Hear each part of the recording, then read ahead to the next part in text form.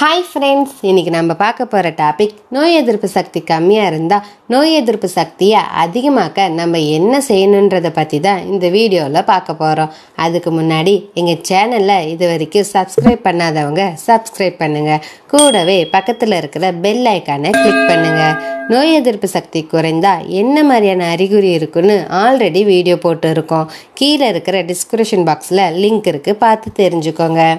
Vitamin A vitamin C vitamin E ஆகிய உணவுகளில் இயற்கையாகவே நோய் எதிர்ப்பு சக்தியை அதிகரிக்கும் தன்மை இருக்குது அதனால இந்த சத்துக்கள் அதிகமாக இருக்கிற ஃபுட்டாக எடுத்துக்கோங்க. உதாரணத்துக்கு கேரட்டு பச்சை காய்கறிகள் தக்காளி நெல்லிக்காய் சிட்ரஸ் பழங்கள் கொய்யா பழத்துலலாம் இந்த சத்துக்கள் அதிகமாகவே இருக்குது டெய்லியும் அஞ்சு பாதாம் பருப்பை சாப்பிடுங்க.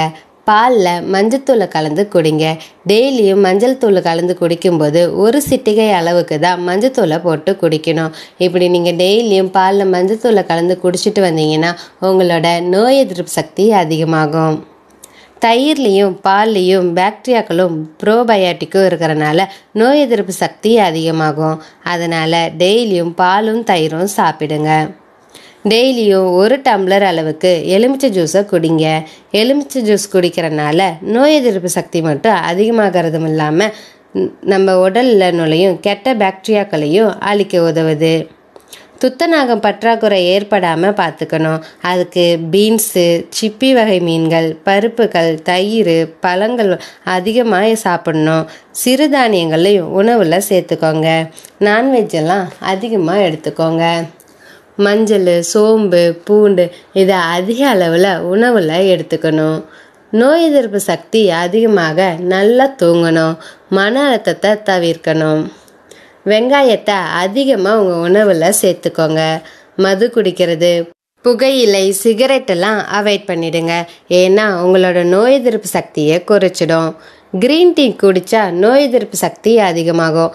அதே நேரத்தில் ரெண் ரெண்டு தடவைக்கு மேலே குடிக்கக்கூடாது வாரத்தில் ரெண்டு நாளாவது கீரைகளில் சாப்பிடுங்க. கீரைகளில் இரும்பு சத்தும் வைட்டமின்களும் நிறைய இருக்குது.